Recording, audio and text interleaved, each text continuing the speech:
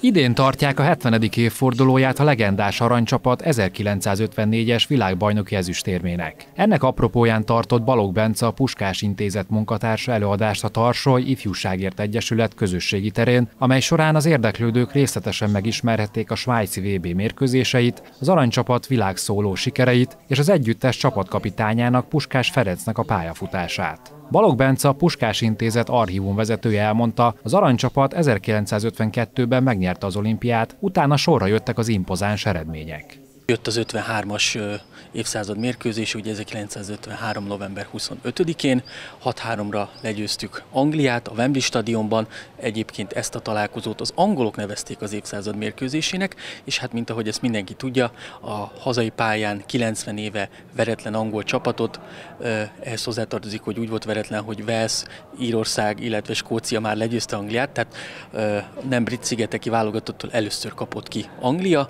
Az angliai 6-3 után a Népstadionban küzdöttek meg ismét a felek, amely során szintén az aranycsapat nyert 7-1-re, amely azóta is legnagyobb veresége az angol labdarúgó válogatottnak. Az előjelek után Magyarországot tartották a svájci VB egyik favoritjának. A negyed döntőben Brazília ellen Puskás Ferenc nélkül 4-2-re győzött a magyar csapat, majd az elődöntőben a címvédő Uruguay elleni mérkőzésen szintén 4-2-re győzött hosszabbításban, és ezután jött az NSK elleni második mérkőzés.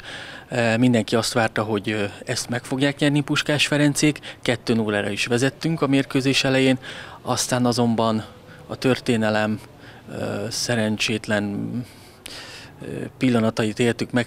Balog Bence hozzátette, a 2 0 vezetés után az NSK fordított az aranycsapat ellen, így végül elbukta a svájci VB döntőjét, amely mind a mai napig témát szolgáltat a foci rajongók körében.